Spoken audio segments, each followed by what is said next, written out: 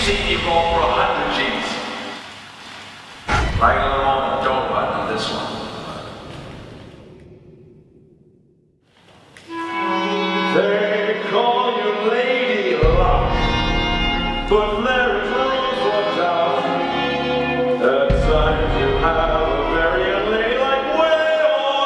you.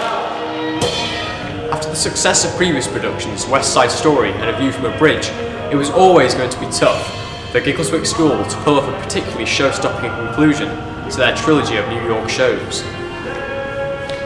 After much deliberation, it was decided upon that the spectacular extravaganza to finish off this triad would be the classic West End musical, Guys and Dolls.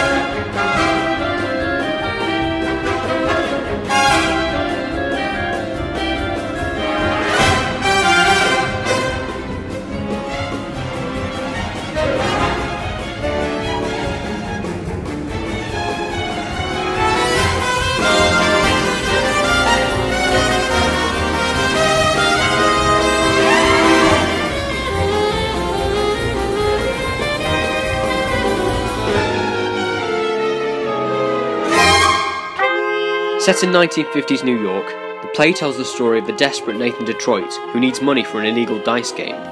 Enter notorious gambler Sky Masterson, a guy who can never turn down a bet. To Sky, Nathan offers one wager that he surely can't lose. Guys and Dolls was one of the greatest successes that Broadway theatre has ever known. The original production opened on Broadway on the 24th of November 1950 and ran for 1,200 performances, netting more than $12 million. The romantic and funny Guys and Dolls is populated with gangsters and gamblers, missionary dolls and scantily clad showgirls, and retains one of the greatest musical scores in the history of American theatre. Play offers a challenging range of parts, both large and small, musical and dramatic. Thankfully, Giggleswick has a fantastic range of actors to fill these roles. My character's called Nathan Detroit, and um, he's a gambler. What's quite odd is that Nathan has been engaged to uh, Adelaide, his fiance, for 14 years, which is um, kind of unheard of. So my character is called Adelaide, and she's a. I, I think she's a stripper, but it's not, no, but it's. I'm not. So she's a dancer and she has one true love and he's called Nathan and they've been engaged for 14 years and she's absolutely desperate to marry him but he somehow keeps avoiding it. He has a big bet with uh, Max Reiter, who's playing Sky Masterson. Uh, my character in the play is called Sky Masterton, but his real name is Obadiah because he's, um, although he's on the outside very confident and he's a ladies' man and he's a gambler and he's a high roller, he's that sort of outgoing person, the, the, the typical perfect man that every man wants to be. But he's got that like thing where he's actually quite sensitive on the inside and no one really sees that until Sarah brings it out of him. I'm playing Sarah Brown, who is very prim and proper. Um, she's a member of the mission, and basically, what happens to her is a guy comes along who's a gambler, and the bet is to take me to Havana. And eventually, I do go to Havana with him and fall in love with him. He's really sensitive with her and he's actually quite romantic, even though he's not really been romantic previously. I've never been alone before. Now all at once it's you, it's you forevermore. Well, um, I play Nicely Nicely Johnson, and he is, I'd say, he's the fat, cheerful bloke,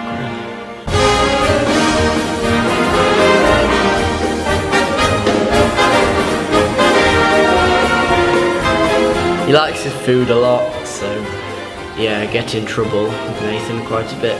My character is Benny Southstreet. I'm a comedic New York character who is enhanced by Nicely Nicely Johnson, as he is my uh, friend in the play.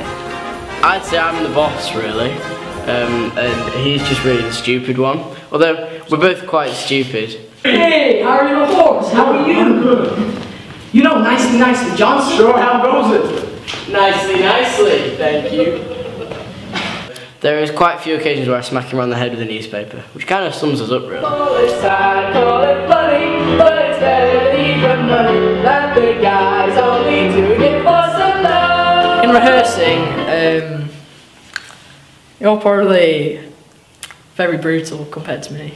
Brutal. What What do you mean by that? Well, beating me up really, like punching me every so often. So you say you get physical abuse from work? No, not from me. Benny gets it from nicely. Yeah. Charles does not get it from Will. 'Cause I just I- verbally insult Yes. him when I'm with Will.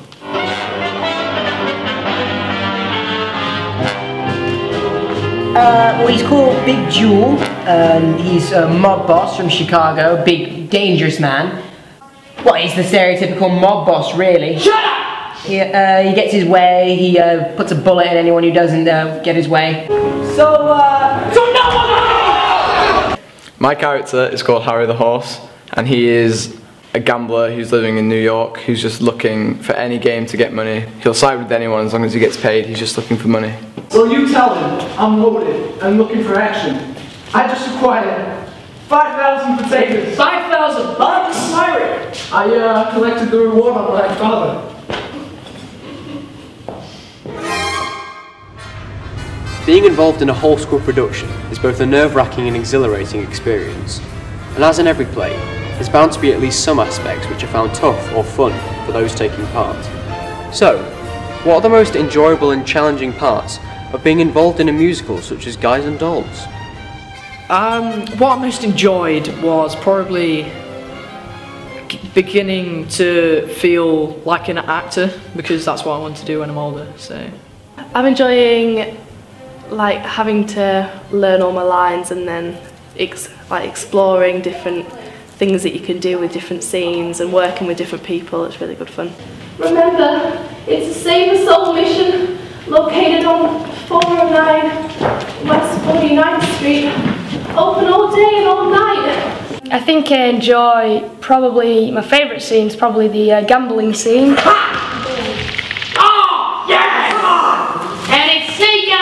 Eyes. Um, and I'll lose quite a lot of money, but yeah, it's my favourite scene.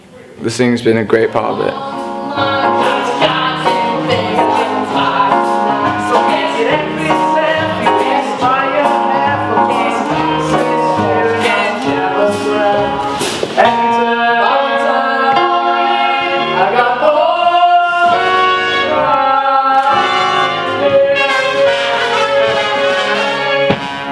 But everything is great about it acting, dancing, just working with other people is really good. Personally, I find the dancing quite difficult because I have two left feet. I just can't dance. The main challenges for me was probably not killing myself during dance. Learning to dance as well, just because I physically can't. I'm like a stranded hippo, so I just try my best, but you know. Alongside the singing, every musical carries the other crucial challenge of choreography, a task that in this case was accomplished with considerable success.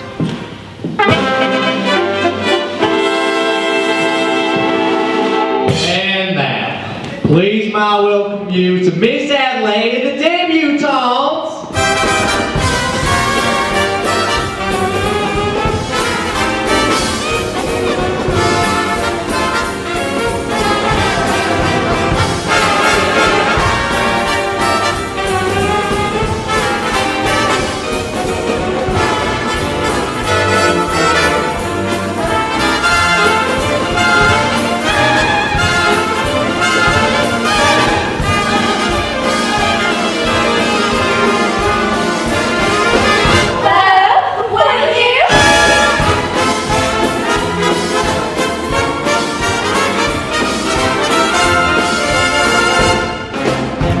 Terms of the challenges that we face in our ensemble, time has been a big one of them because this year Shakespeare Schools Festival's cut more into our time and we had two weeks of half term, so we've had less time.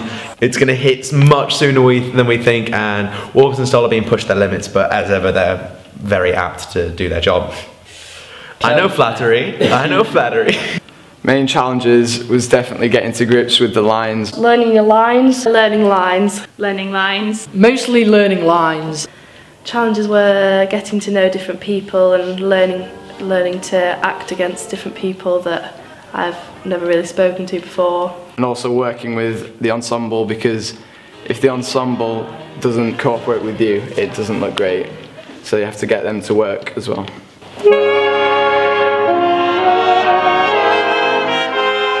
In order to manage these highs and lows, you have to be a particular type of person. Taking part in such a full on experience needs commitment, dedication, and drive, which are surely qualities that make the experience a valuable one for young people. What kind of person is needed then to undertake this sort of project? You can be anyone.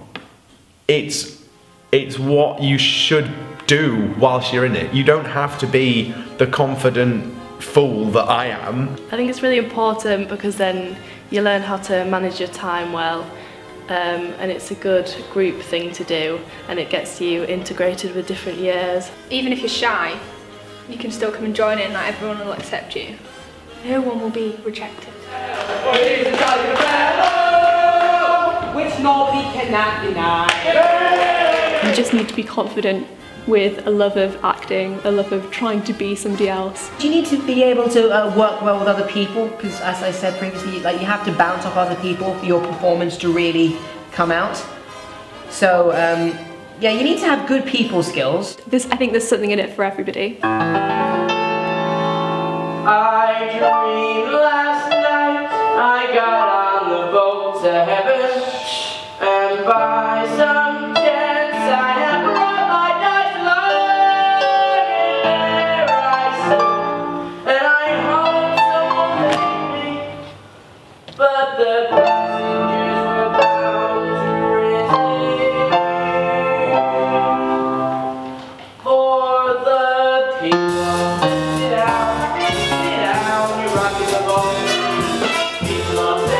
I think it's really valuable for um, the school to be uh, to get involved in this kind of uh, play and production because um, it brings everyone together. Because it allows you to meet other people and to make new friends and it develops your confidence. It's quite a maturing experience. I remember when I did West Side and I was thrust into working with the people in the years above. I was like, wow, they're just getting on with it. They're not messing around, and I learned a lot from just watching them work like adults but still having fun. I've got to lead quite a lot of other younger students. I'm supposed to be the role model as one of the principals. It teaches young people to work with other people, which is helpful in later life, so as group work. I think definitely um, you, you're able to mix with a lot of different people that you wouldn't normally mix with. You're mixing with different um, staff, different teachers. I don't study drama at school, so being able to be directed by Mr. Warburton and Miss Stoll is something that I'm not used to. You definitely get a lot of experience of watching two very uh, able directors direct and being able to learn from that. That's something I've learned quite a fair bit from. And I think it's just nice to just say that you've been in a production and it's something that you've achieved.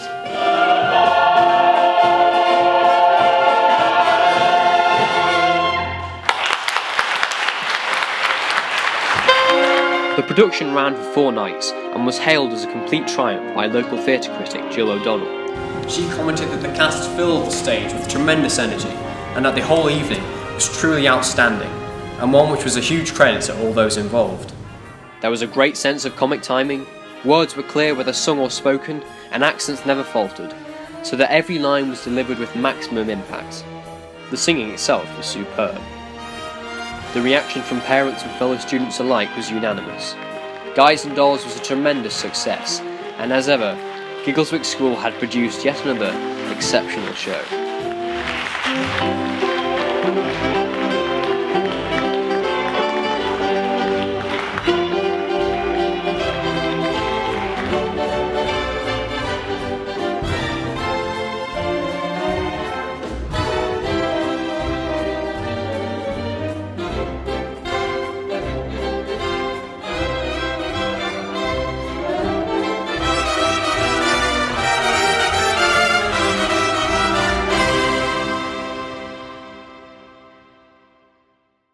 av fest.